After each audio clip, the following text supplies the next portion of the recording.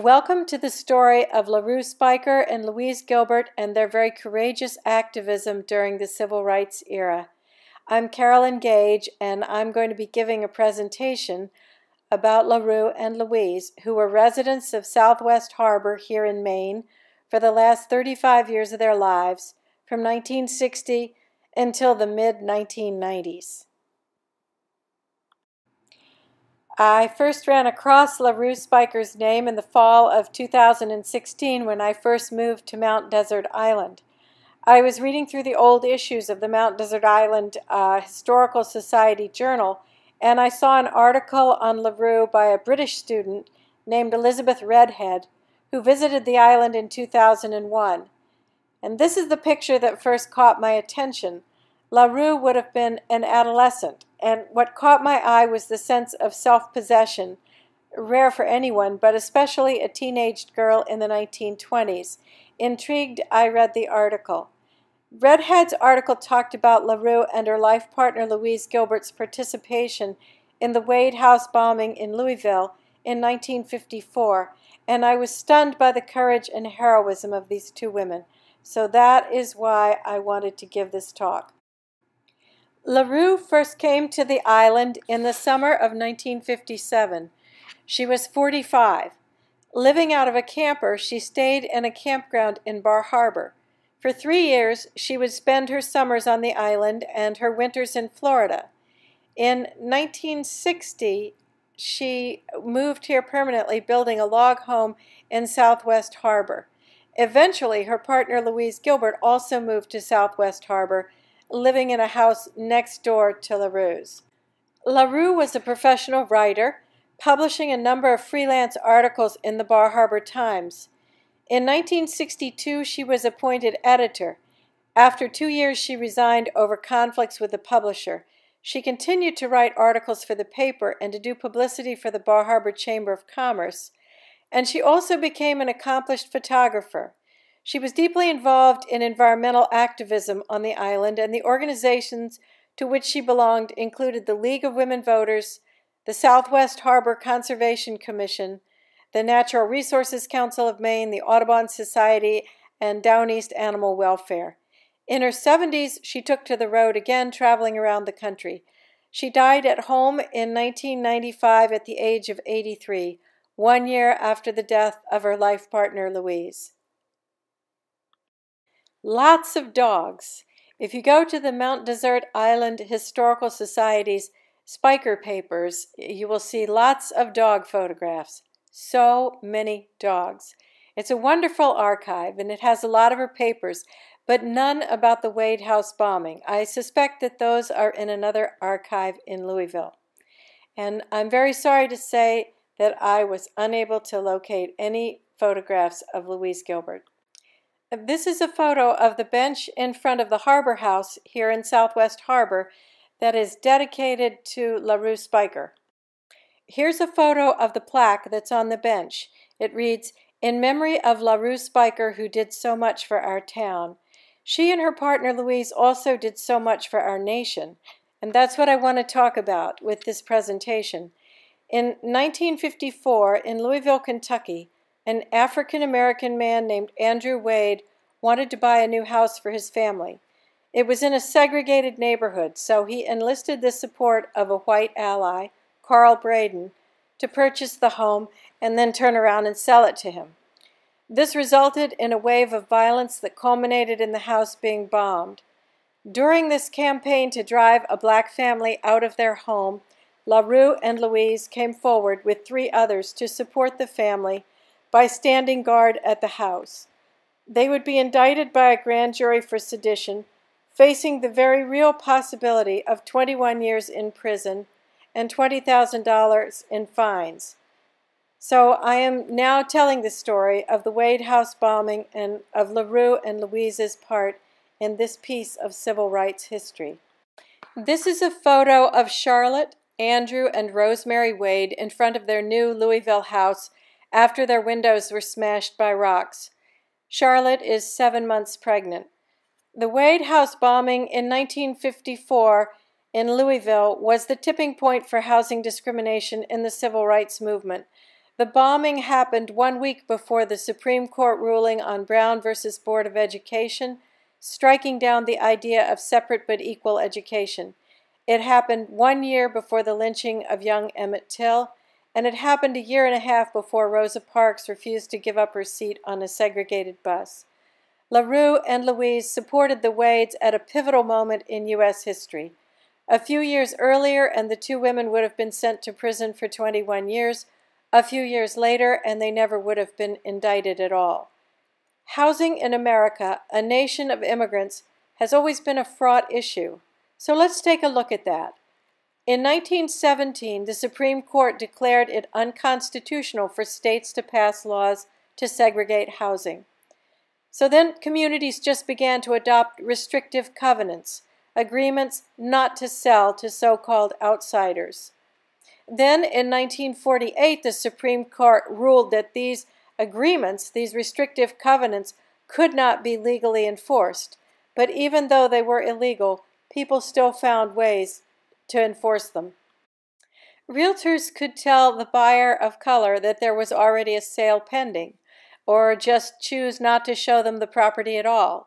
This was easier to do before the days of the internet. Lenders could and did refuse mortgages to people of color if they were trying to buy in certain neighborhoods. This is what happened to the Wades. In the United States and in Canada, this process was called redlining. The phrase was coined in 1960 to describe areas where banks would not invest money. The definition has expanded to this quote, a system of denial of various services to residents of specific, often racially associated neighborhoods or communities, either directly or through the selective raising of prices. If major stores or healthcare facilities are far away from a neighborhood, that will have the effect of redlining it. These are some of the ways that whites can maintain a color line in the cities. Another thing that white people do is form neighborhood associations to buy back houses from people of color. A week after the Wades moved in, the developer approached him with a buyback offer. There's also economic and social pressure. Andrew Wade's electrical company lost a substantial amount of uh, white corporate business after he moved into a white neighborhood. The milkman and the mailman refused to deliver to the Wade house. Realtors who sold houses to people of color in segregated neighborhoods could be fined by boards of realtors or even lose their membership in professional realty organizations. And then, when all else fa failed, there was always terrorism. This is a bombed house from Birmingham, Alabama. In the 1950s, there were so many bombings in Birmingham that the city was nicknamed, nicknamed Bombingham. The Wades and their allies, like LaRue and Louise, received hundreds of threatening phone calls all hours of the night and day. Allies lost their jobs and their friends. Family turned against family. People would park outside the Wade home, throw rocks through the window, shoot guns into the house. They burned a cross in the next yard and the police were under political pressure not to make any arrests. As we will see, the white man who bought the house to sell to the Wades went to prison.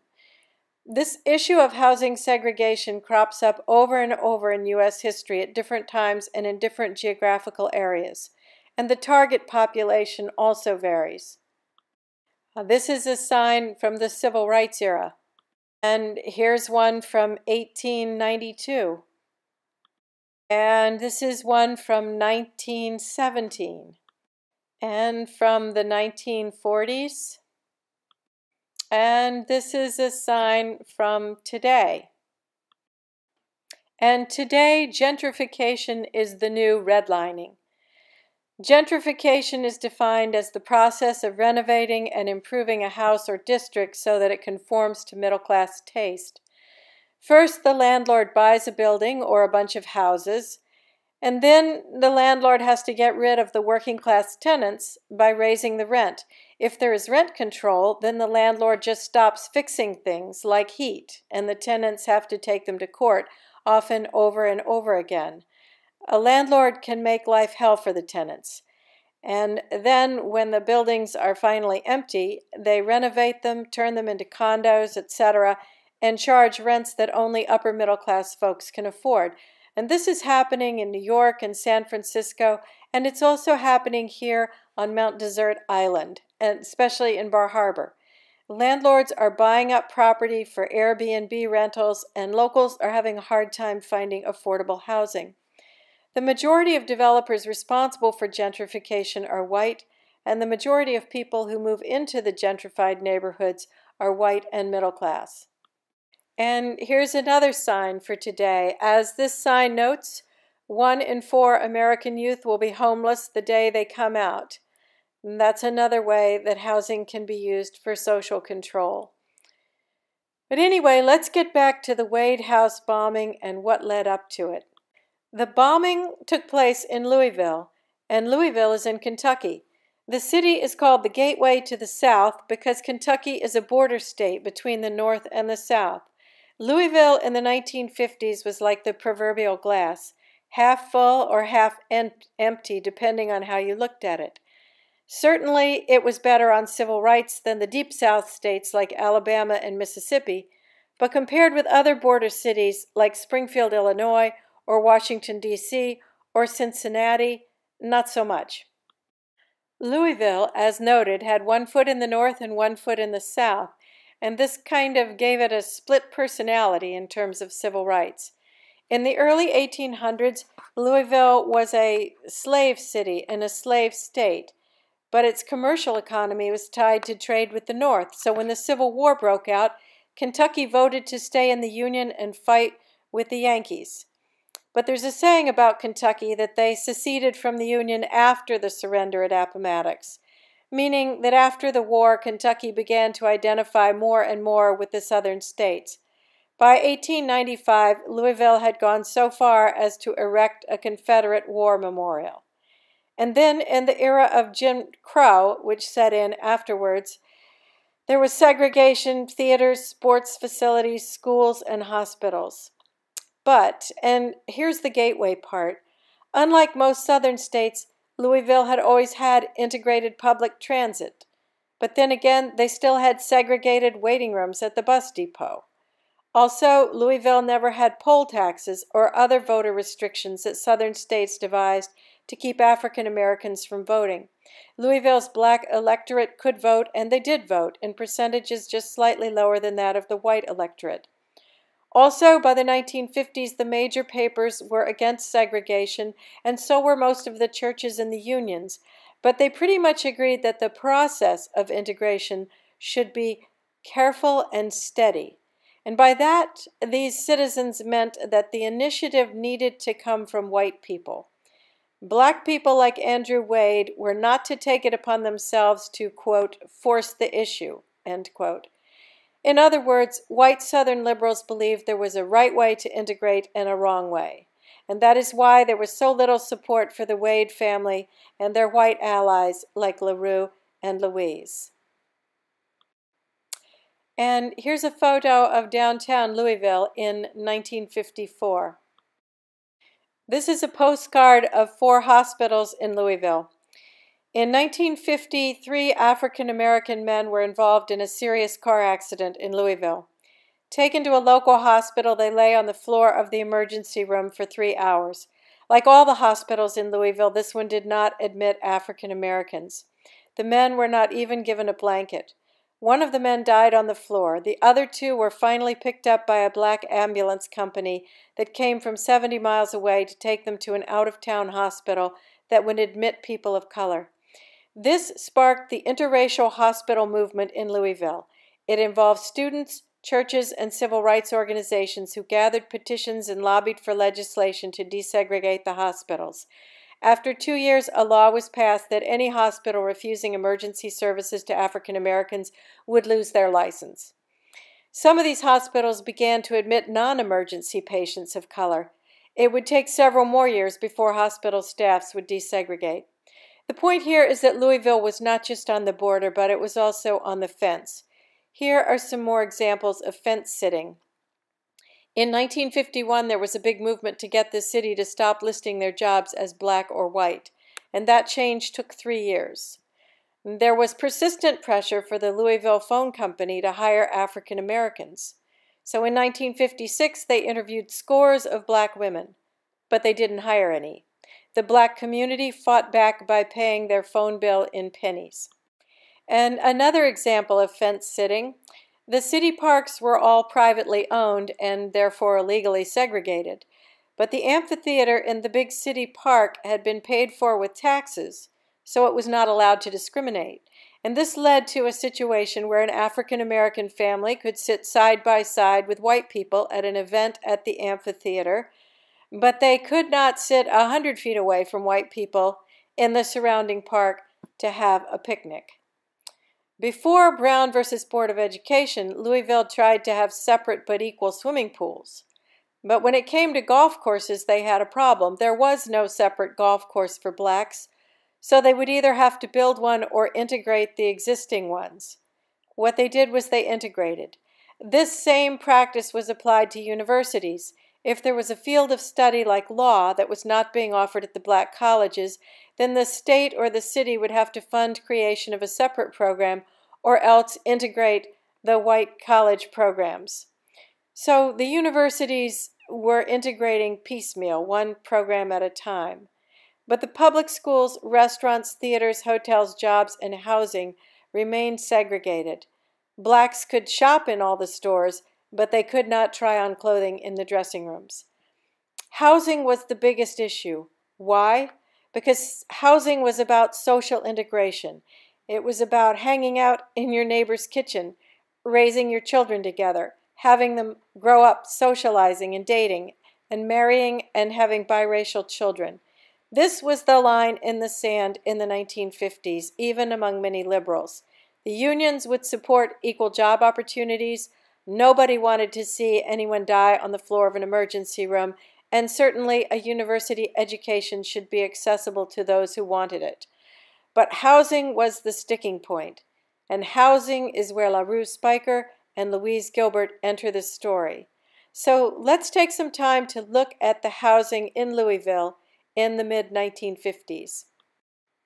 This is a contemporary map of Louisville. The bulge that follows the curve of the Ohio River is called the west end of Louisville. This was traditionally the black neighborhood, and you can still see today how it's considered the less desirable housing.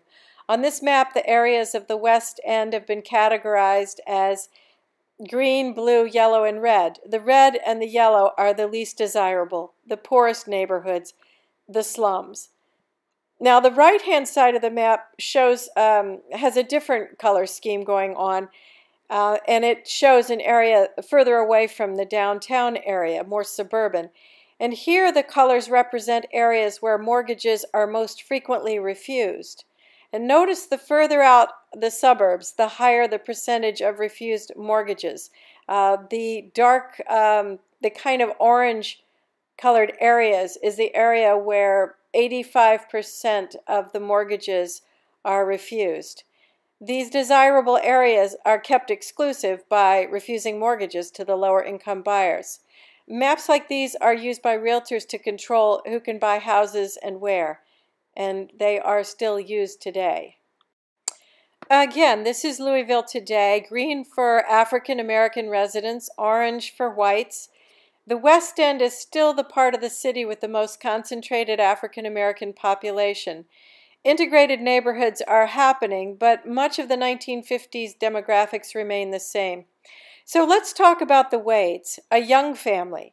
There's a daughter, too, and Charlotte Wade, who's seven months pregnant. The Wade family is expanding and they are looking to move out of their apartment and into a bigger house. In fact, there are a ton of these new fancy houses being built outside the city. This is the post war boom. They're called ranch houses and split levels, and the kitchens are large with all the post war modern conveniences like dishwashers and laundry rooms. And there are trees and big yards, lots of room for the kids to grow. And it's safe, it's not in the city. Everybody knows their neighbors. And the schools are better. So this is where the Wades want to buy. But these houses are outside the area redlined for black housing, the West End. So uh, before we look at uh, the suburban houses, let's look at the area where the Wades were supposed to buy their home. Let's look at the West End in the 1950s. Here are some West End bungalows.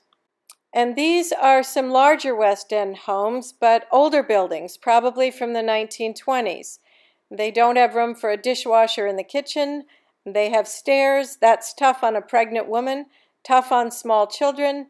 And of course, they're in the city. There's traffic. There's strangers.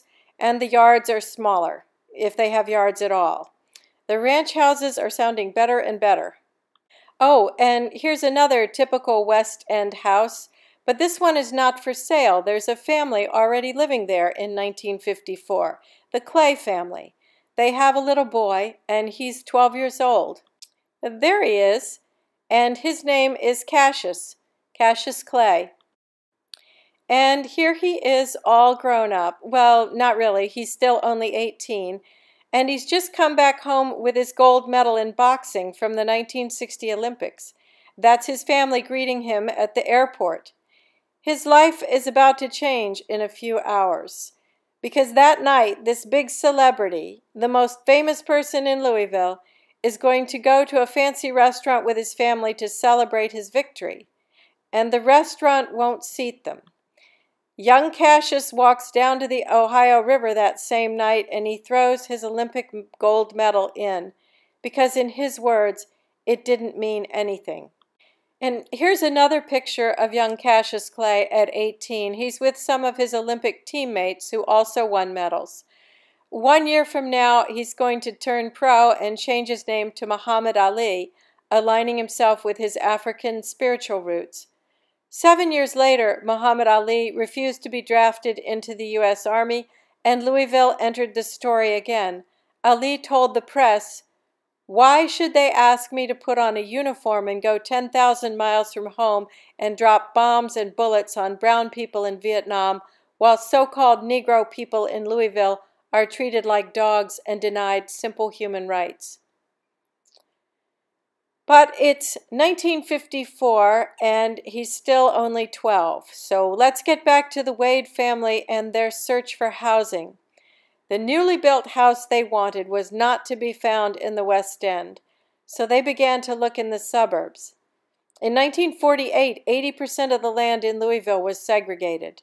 There were 20,000 new homes built after the war, but only 200 of these could be sold to blacks and that just didn't make sense to Andrew Wade.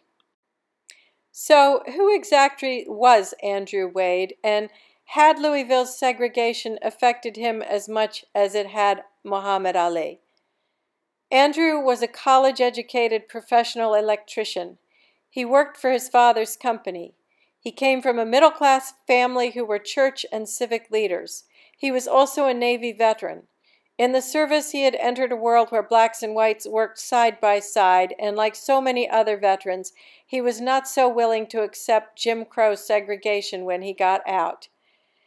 During his time in the service, while stationed in Seattle, he and his best friend tried to eat at a restaurant, but they could not get served. His friend refused to leave, and the police were called. Seven police officers threw Andrew's Navy buddy on the ground, and in Andrew's words, pumped him full of bullets. Andrew's wife, Charlotte, was not an activist like Andrew. She had learned that wherever there were white people, there was trouble. But Charlotte really had her heart set on a split level house. She wanted her children to have the best. One of the earliest memories Andrew had was about the Fontaine Ferry amusement park that was located in the West End as a child, he could see the Ferris wheel and the other rides when his father would drive past them. He would also see the posters for the park. He and his sisters kept pestering his father to take them there, and his father would always put them off, telling them that some day they would go. And one day when Andrew was five or six, he and his sisters his sister had had enough of the promises. They began to insist that today was the day. Finally, his father told them that he could not take them today or ever, because it was a park for white people only, and they were black. And Andrew remembers his father's reluctance and shame in that conversation. Later, when Wade was in the Naval Reserves, after he got out of the service, he was invited with the other members of the reserve to a picnic in Fontaine Ferry Park to commemorate the soldiers who died in World War II fighting for democracy. An hour into the picnic, his commanding officer took Andrew and the other black reservists aside and told them that there had been a mistake. and that they needed to respect local customs and leave.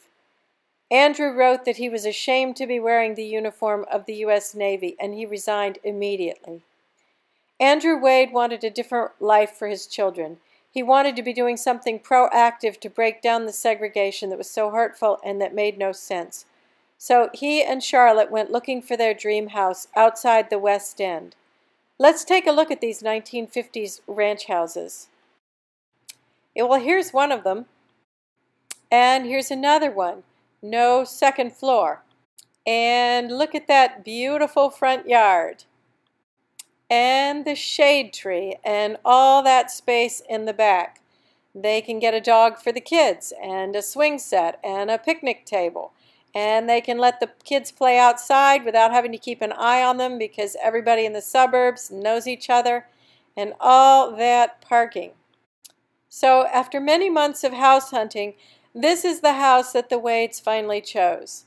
This is a contemporary photo. At the time when the Wades bought the house, it was in a development surrounded by empty lots, and there was even a leftover barn in the field behind the house. So here we see another map of Louisville with that bulging west end, and then way down below it, that red blip that's the Wade House. You can see how far from the west end this was. And by the way, just above the word Louisville, there's a little green blip on the map. That's the factory where they make the famous Louisville Slugger baseball bats. The Wade house was in a brand new all-white housing development. Andrew Wade had already tried to buy houses like this. In fact, one realtor actually was going to sell to him until he saw that Andrew had put Negro down on the paperwork. The realtor thought Andrew was Latino because of his light skin, but when he saw that Andrew was African American, he tore up the papers. So Andrew knew he was going to have to find another way to buy a ranch house for his family. But before we move into that story, we're going to take a little side trip because the Wade House bombing wasn't just about Jim Crow and segregation. This was 1954, and it was also very much about McCarthyism and the communist witch hunts, and also what would later be called the Lavender Scare. In 1950, Republicans were desperate. They had been out of power for 18 years since the defeat of Hoover by Roosevelt. Roosevelt, with his wildly popular New Deal, had won four terms. He had seen the country through the Depression and led the country to victory in World War II. After his presidency, the Republicans and the rest of the country were so sure the Republican candidate was going to win that the newspapers had run the headline, Dewey defeats Truman, and still the Democratic candidate came from behind and won. How could the Republicans find a way to win? Part of the problem was that under Roosevelt, the nation had seen the banning of child labor, the minimum wage, the 40 hour work week, workman's compensation, unemployment insurance, employer provided health insurance, welfare, social security, and new work programs to create jobs. How can you make people think those are bad things? So the Republicans were desperate, but finally in 1950 they found their issue. On February 9, 1950, Republican Senator Joe McCarthy stood up and told a crowd that the United States State Department was, quote, thoroughly infested with communists, end quote, and he brandished papers he, he claimed were a list of such subversives. This is what he said. I have here in my hand a list of 205 State Department employees that were known to the Secretary of State as being members of the Communist Party and who nevertheless are still working and shaping the policy of the State Department.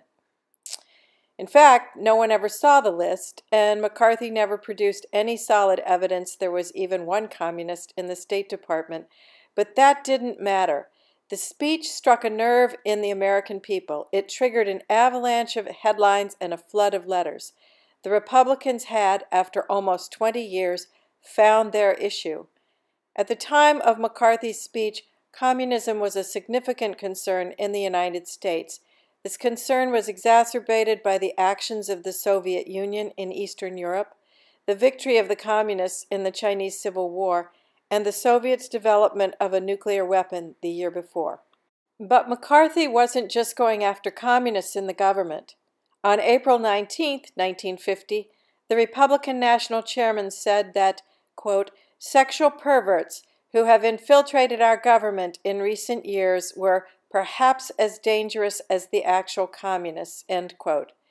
The danger was perceived as not solely because they were perverts. Homosexuals were considered to be more susceptible to blackmail and were labeled as security risks. McCarthy hired Roy Cohn, who would later die of AIDS and was considered a closeted homosexual, as chief counsel of his congressional subcommittee. Together, McCarthy and Cohn with the enthusiastic support of the head of the FBI, J. Edgar Hoover, another closeted gay man, were responsible for the firing of scores of gay men and women from government employment, and they strong armed many opponents into silence using rumors of their homosexuality. McCarthy conflated communism with being gay, and that is where we got the expression pinko commie. He said there was something mentally or physically twisted about anyone in the Communist Party. He said homosexuality was a psychological maladjustment that led people to communism. The lavender scare was inextricably tied to the Red Scare of the 1950s. It was the result of this belief that homosexuals posed a risk to national security and needed to be systematically removed from the federal government. What started out as a partisan political weapon became a national moral panic that lasted throughout the 1950s. It was a 25 year policy that ruined many lives, and it came very close to ruining that of LaRue and Louise. It's true that Washington had been very gay friendly. Prior to McCarthy and 1950, lots of gay and lesbian folks came for the civil service jobs. Why? Because the federal government did not discriminate. They used merit based testing. This is a picture of a civil service exam being given. Women especially could get jobs beyond nurse, secretary, and teacher. There was no old boys network for hiring, but just civil service exams. All the jobs were classified and filled by competitive examination. In the 1930s and 40s, Washington was a boom town with the New Deal. Population of the city doubled in 20 years, from 1930 to 1950. The New Deal created the first large sexually integrated white collar bureaucracy in the United States. These jobs provided better security in the eyes of many women than a husband. Civil service exams had erased lines of gender and color and age, causing a breakdown of all the hierarchies of so called civilization. But many people were fearful that a femocracy was being created where lesbianism would be rampant. There was a panic that women were invading traditional male space and doing the work of men, and that men were not manly anymore. Washington was becoming full of intellectuals, social science folks, economists, statisticians, eggheads, men with long hair and women with short hair. Civil servants administering social welfare programs were seen as prying into people's lives. The balance of power was shifting away from Congress. Suddenly there were all these unelected specialists versus the elected generalists. Who was running the government? Often these specialists were better educated with higher class backgrounds than members of Congress. This hysteria was linked to prejudice against the New Deal, where Roosevelt's social programs were seen as taking away people's personal responsibility and ruining the souls of millions, emasculating the men and masculinizing the women. The anti communist slogan was, quote, When the state becomes God, morals disappear. End quote. Stable, monogamous, heterosexual marriages were seen as a key weapon in the arsenal against degeneracy and internal communist subversion. In 1953, Democratic candidate Adlai Stevenson ran against Dwight Eisenhower. Republicans pursued a relentless, untrue, but successful rumor campaign to frame Stevenson, who was a bachelor, as a gay man. J. Edgar Hoover of the FBI was especially active in this campaign. Eisenhower won the election and the Republicans were finally back in power. In April 1953, President Dwight D. Eisenhower signed Executive Order 10450, which set security standards for federal employment and barred homosexuals from working in the federal government. He ordered government agencies to fire all those, quote, guilty of sexual perversion, end quote. The executive order was the cause for the firing of approximately 5,000 gay and lesbians from the federal employment. This included private contractors and military personnel. Not only did the victims lose their jobs, but also they were forced out of the closet and thrust into the public eye as lesbian or gay. Finally, Republicans were in power. And they set about cleaning house.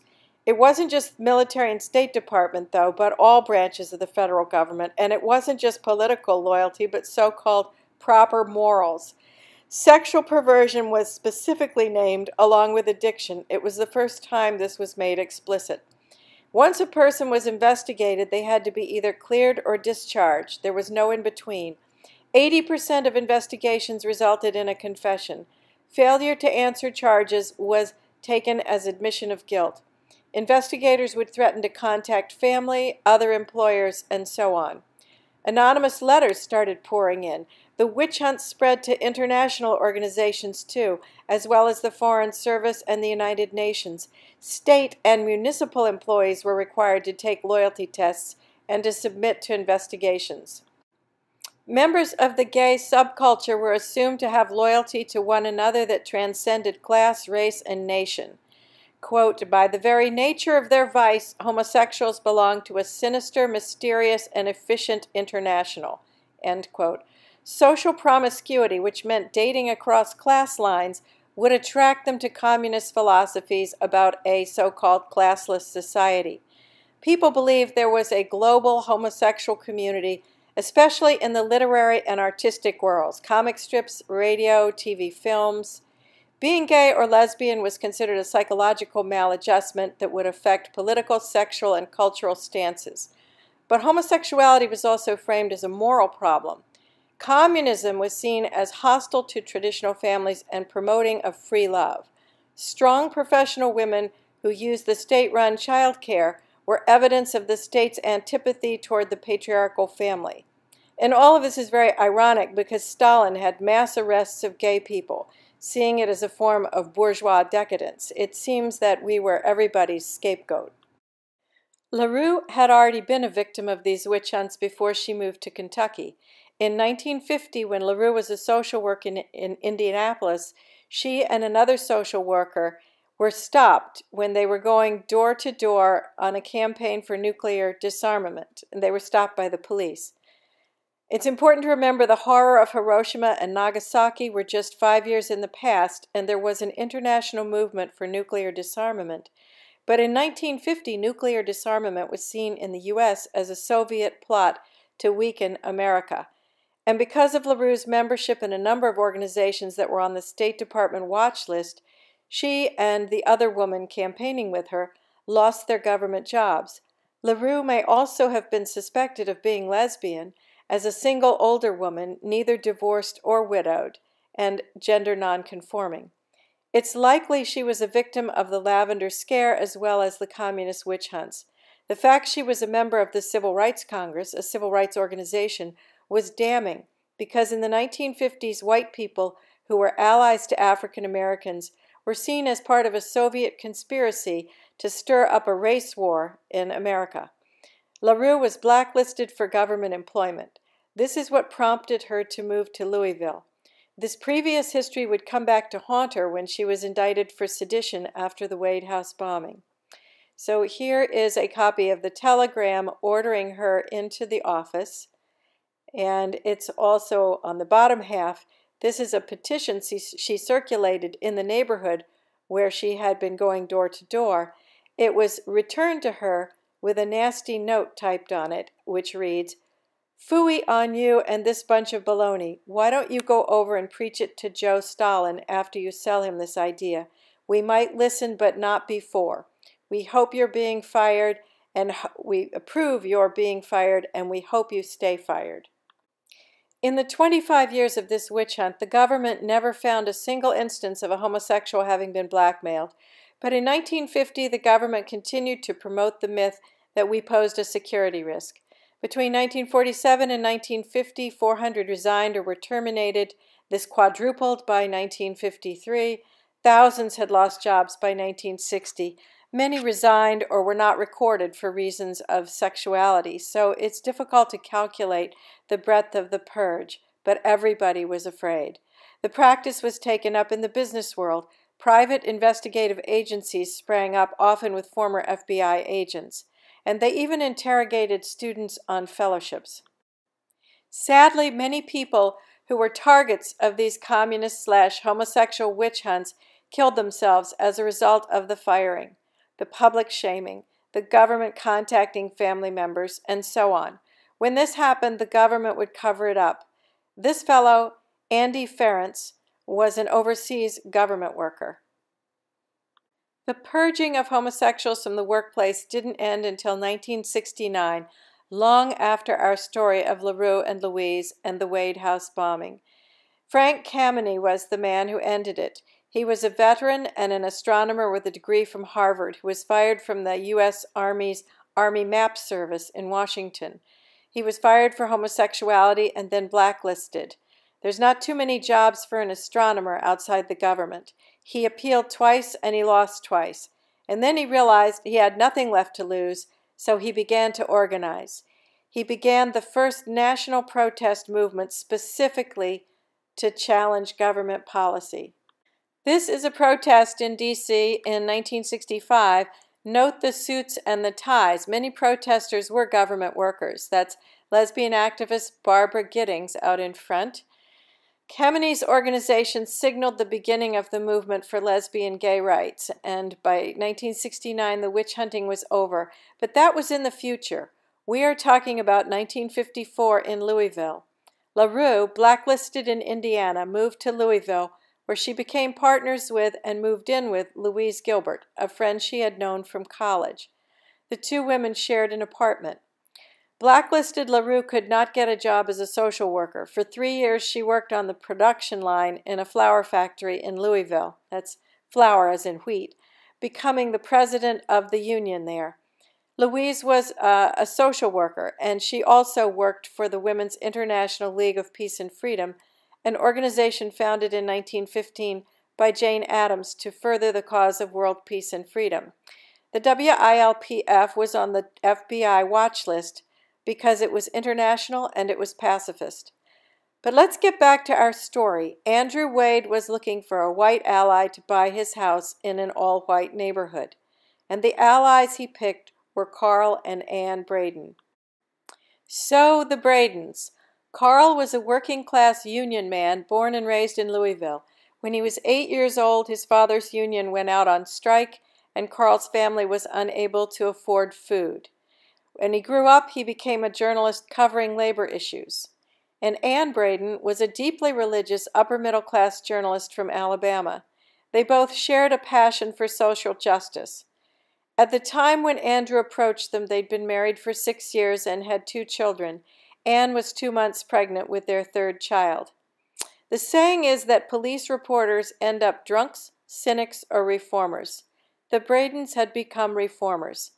Andrew asked them because he and his father had done wiring for the Bradens' home, and he also knew them from their participation in progressive organizations. And here they are with their kids.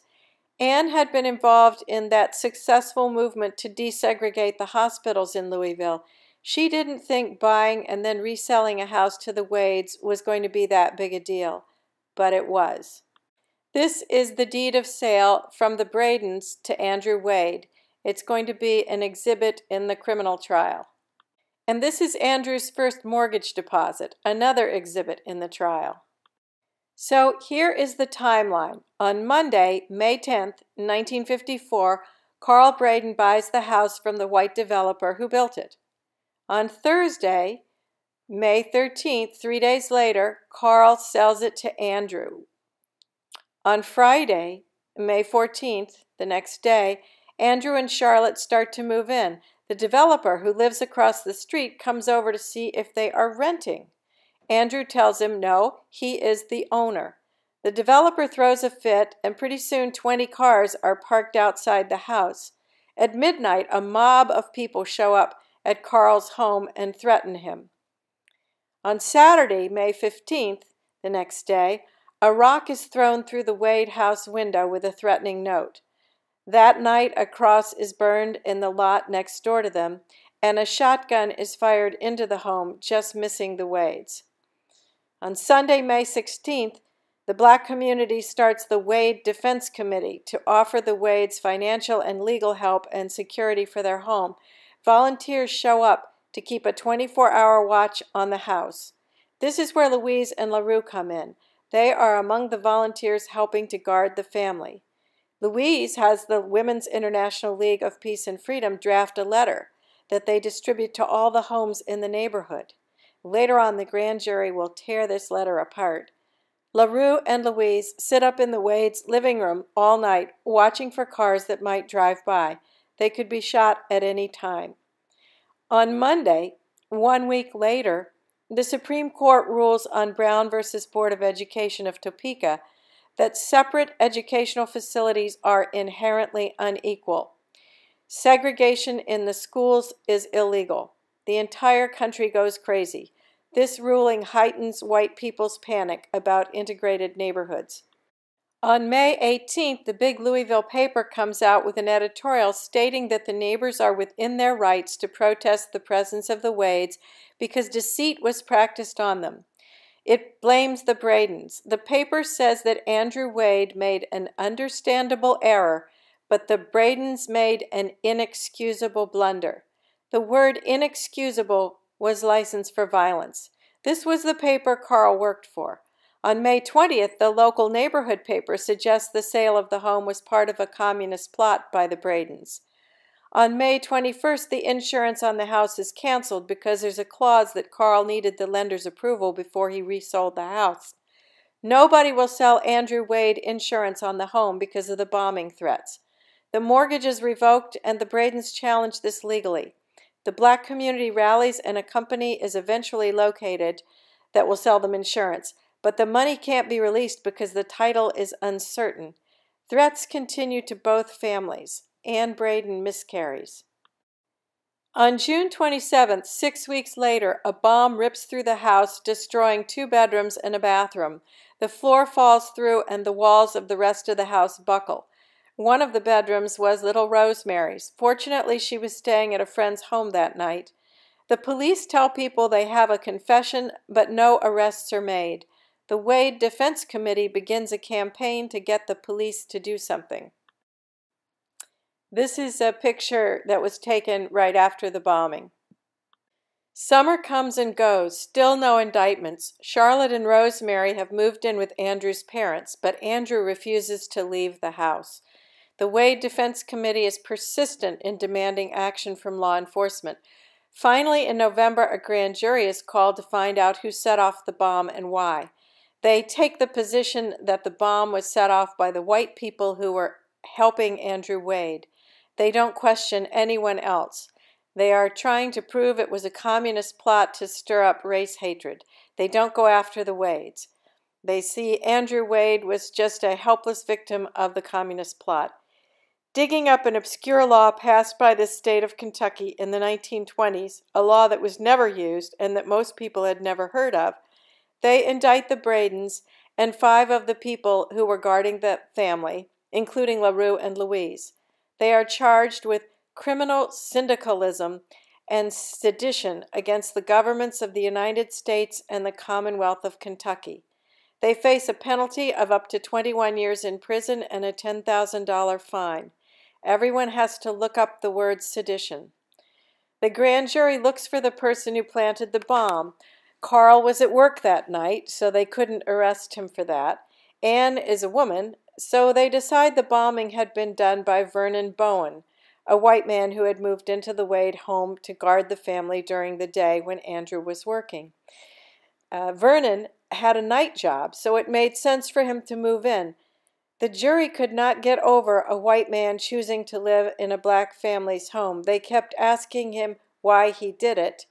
No matter how many times he told them it was to protect the family. The homes of the defendants were raided, uh, looking for socialist or communist literature. Hundreds of books were seized from the Braden home.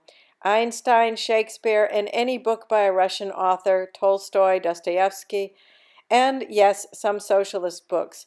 Vernon's roommate, a member of the Communist Party, actually had communist newspapers.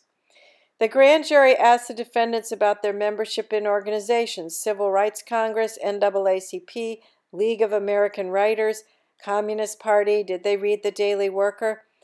LaRue and Louise courageously refused to recognize the legitimacy of this grand jury at all, and they refused to even be sworn in. They are immediately arrested for contempt and locked up in jail for five days. LaRue's family and a friend of Louise bail them out. LaRue either quit or was fired from her job at the flour factory at this time. Later on, Louise and LaRue are subpoenaed again, and this time they go before the grand jury, but they plead the Fifth Amendment for all questions not directly related to the bombing. And so did the Bradens. Every defendant who refused to answer questions was indicted. No blacks were indicted because that would not fit the narrative that African Americans in the South are happy with Jim Crow. It is the white communists who are using them to stir up trouble to cause a race war and weaken the country. Anne and Carl Braden refused to answer all questions about their political activism, about the books and magazines they read, and the organizations they joined. They were arrested for contempt of court. The grand jury was really after the Bradens because they had sold the house in a white neighborhood to a black family. They were shunned by everyone in the community. Anyone showing support for the Bradens was immediately subpoenaed by the grand jury and at risk of indictment for sedition. Carl Braden was the first to go on trial. This is a picture of the jurors. All of them are white, and only one of them is a woman. After 13 days of trial, on November 29th, Carl Braden is found guilty of violating the Kentucky law against sedition based on his library, his organizations, and one witness who claimed to be a spy for the FBI. I love the expression on Anne's face. Most of the 13 days were spent discussing the contents of the books in his library. Carl Braden is sentenced to 15 years in prison. The jury deliberated for three hours trying to decide whether he should be sentenced to 15 years or the full 21. His guilt was never in question. Carl's bail is set at $40,000, the highest bail ever set in Kentucky at that time.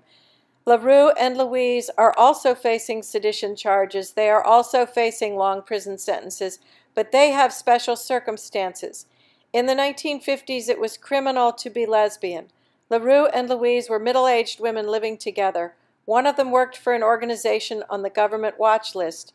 They were in jail for contempt of court, and they were being investigated for communist plotting. It's very likely they were identified as lesbians, and in the 1950s, lesbians were treated very harshly by the police, especially if they were jailed. Like the Bradens and the other defendants, LaRue and Louise had a history of association with socialist causes and organizations, Unlike the Bradens or the other defendants, LaRue had been fired and then blacklisted from her social career back in Indiana, and she and her, quote, roommate fit the profile for suspected lesbians. Lesbianism, criminal in 1954, was also considered a moral failing, a sexual perversion, and a sin against God and nature. It's important to remember that LaRue and Louise were likely to face questions about the nature of their relationship as two middle aged women living together. That was part of the McCarthy playbook that the Louisville grand jury was following. LaRue and Louise's pictures were plastered all over the papers. They, too, were threatened, subjected to threatening phone calls and letters. I want to stress their extreme courage as marginalized women in standing up so courageously for the Wades, risking their lives in the Wade living room night after night, and then defying the grand jury and risking years in prison. Anne Braden traveled all over the country trying to raise the money for her husband's bail. Her parents, strong advocates for segregation, were ashamed of her, but they paid her bail and they cared for her children while she traveled. Finally, after seven months, with the help of the ACLU, Carl was bailed out. He filed an appeal, but the Kentucky courts refused to hear it because there was a case in front of the Supreme Court challenging state sedition laws. In April 1956, nearly two years after the bombing, the Supreme Court ruled that state sedition laws were unconstitutional. Carl's conviction was overturned. He went home, and LaRue and Louise's cases, along with the cases of the other three house guardians, were thrown out. This is Carl on his way home from prison. As a side note, the prosecutor of these witch hunts, A. Scott Hamilton, would kill himself five years later. How much was his suicide a result of these trials? In the famous musical Les Miserables, there's a law and order man, Inspector Javert. When Javert has to confront a higher moral code than the one to which he has dedicated his life, he jumps off a bridge. Did Mr. Hamilton also have difficulty reconciling his sense of duty with the nation's changing ideas about civil liberties? But all of the defendants are persona non grata in Louisville by now, their pictures having been in all the papers and their cases having been in the news for two years. Vernon and his roommate, I.O. Ford, moved together to California. The third man, Lou Lubka, moved to Nebraska, where he became a university professor of civil rights and a legendary peace activist. That's the mugshot of Lou. Lou would identify himself as a proud member of the Communist Party all of his life. Andrew Wade repaired his home but never lived in it. The Wades bought a house in the West End, and Louisville's housing would remain segregated until the 1960s. The Bradens, unemployed and unemployable, were hired by the Southern Conference Educational Fund, a nonprofit dedicated to the struggle for civil rights and Anne wrote the bestseller The Wall Between about the bombing. But time passes, and today the Bradens are in the Kentucky Civil Rights Hall of Fame. The Anne Braden Institute for Social Justice Research, a program within the University of Louisville College of Arts and Sciences, was founded to honor the work and legacy of Anne. They officially opened on April 4, 2007. This is a contemporary Black Lives Matter gathering at the Carl Braden Memorial Center, which is the former Braden home in the West End. The building that currently houses the Braden Center was donated in order to sustain Carl and Anne's work of promoting justice in Louisville and the world at large. Anne founded the center in 1990. Robert Shetterly of Maine painted a series of portraits called Americans Who Tell the Truth this is Anne Braden's quotation on the painting of her. Quote, as long as people of color can be written off as expendable and therefore acceptable victims of the most extreme inequities, none of the basic injustices in our society will be addressed. They will only get worse.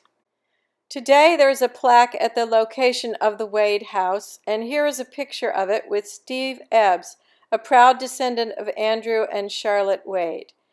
Did anything good come of the Wade House bombing?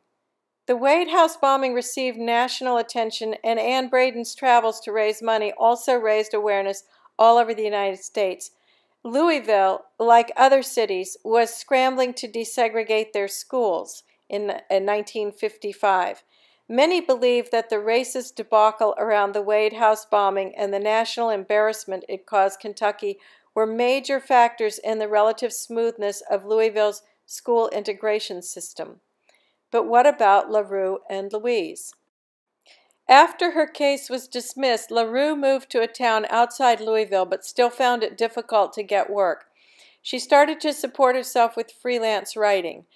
The record is a little hazy, but it seemed that the two women both moved to Philadelphia around 1955 after their case was thrown out.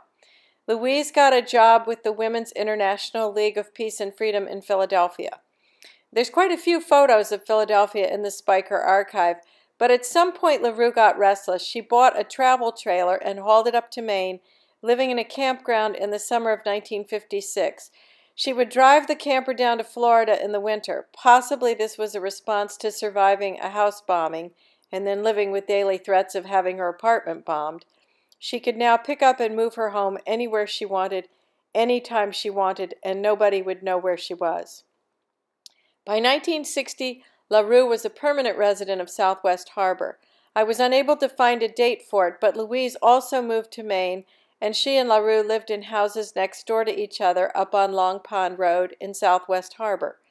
Were they just older women who needed their own space, or did they live as neighbors because their arrest made them realize how vulnerable they were as women living with each other?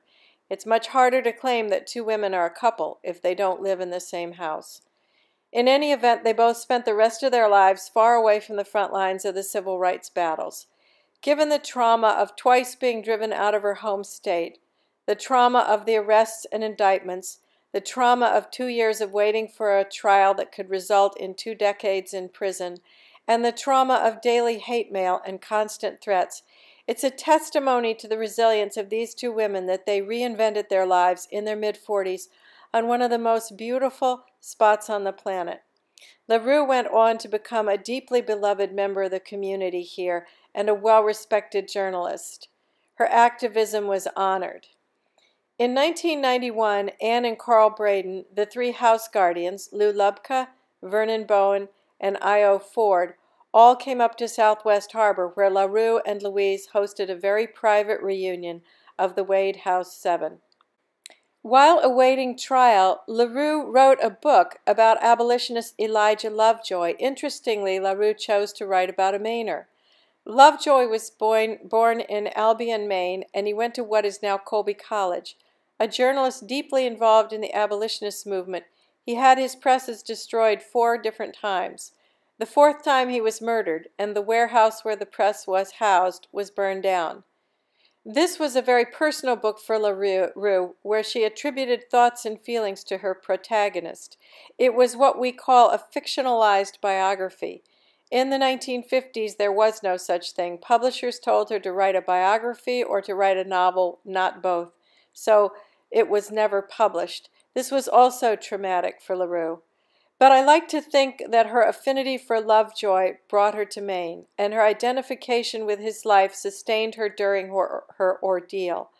I like to think that LaRue wrote her way to liberation. And I'll give the last word to Anne Braden. The first task of whites in these struggles is to be vocal and visible.